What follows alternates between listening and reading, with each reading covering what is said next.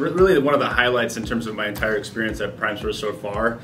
Uh, Ushi being as good of a teacher as he is, and really just the leadership team and the team in general being as supportive as they were. My onboarding experience was excellent, uh, very educational.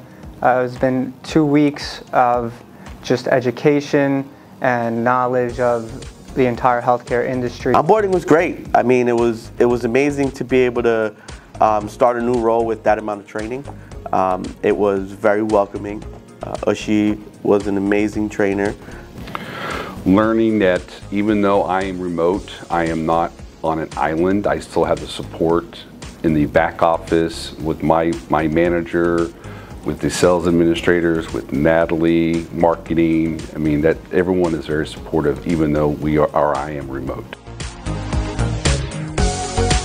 So what I've seen is, um, wow, a lot more reps coming in, which is incredible. I like, I like to see the um, youthful energy that comes into the program. I mean, to into the company, uh, into PrimeSource. Over the years, we developed the policy and procedure manual. In fact, when you read the Nursing Home 101 section, Your Introduction to Nursing Home, that's basically something that I wrote. So we've developed the, the manual, we developed the policy and procedures. Um, things changed dramatically for the better. Uh, I learned a lot from the whole process. I think um, a lot of it was the sales training. I was I learned so much from that, and especially from Ushi. You can definitely tell this company uh, feels like a family, and they welcome everybody in who joins the team. So being able to meet all the field sales reps and everybody from the company in general.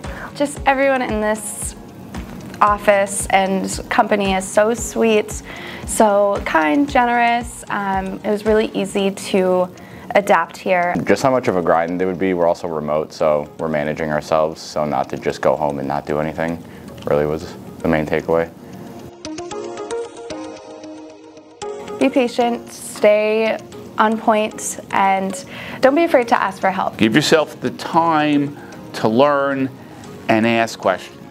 Ask the people who know. Understand your vendors. Get to know them very well.